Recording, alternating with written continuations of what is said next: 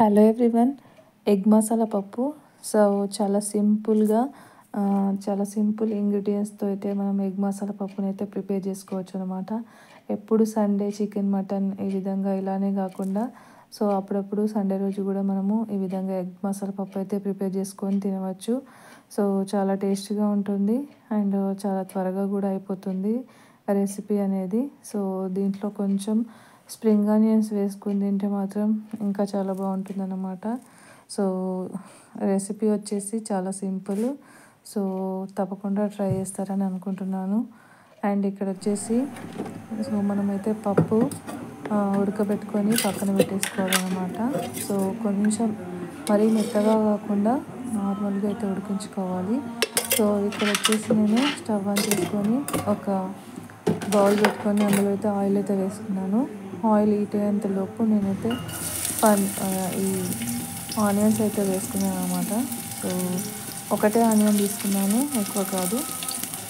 So ఒకటే onion కొంచెం size మంచి సైజు ఉన్న ఆనియన్ పెద్ద సైజు ఉన్న ఆనియన్ తీసుకున్నాను అనమాట సో ఇక్కడ నేనైతే అల్లం వెల్లుల్లి పేస్ట్ అయితే వేసాను. ఇక్కడ నెక్స్ట్ ఇక్కడ వచ్చేసి కారం వేస్తున్నాను ఇందులోనే. తగినంత కారం అయితే వేసుకోవాలి. మనం పప్పు క్వాంటిటీని బట్టి కారం అయితే వేసుకోవచ్చు అనమాట సో కారం వేసిన తర్వాత ఇక్కడ కారానికి తగ్గ సాల్ట్ అయితే వేసుకున్నాను అనమాట కొంచెం సాల్ట్ అనేది తక్కువనే వేసుకోవాలి.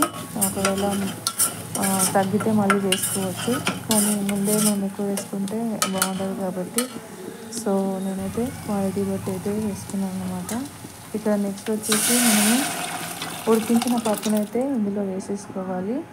మొత్తం పప్పునైతే ఇందులో వేసేసుకొని ఒక రెండు నిమిషాలు అయితే ఉడికించుకోవాలన్నమాట. చూడండి మొత్తం పప్పు అయితే వేసేసాను. కొంచెం దగ్గర పడుతుంది. అండ్ ఉడికించిన గుడ్లకి ఘాట్లు పెట్టుకొని అయితే ఇందులో అయితే వేసుకోవాలి.